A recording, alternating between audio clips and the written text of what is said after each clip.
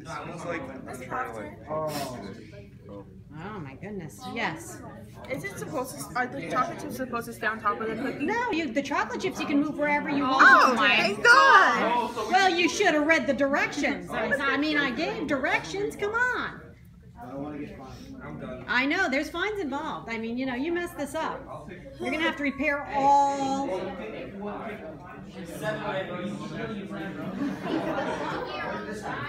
Right, the cookie, the part of the cookie that comes off. 13, 14. Okay, that comes out of your circle. That's what you got to calculate. One,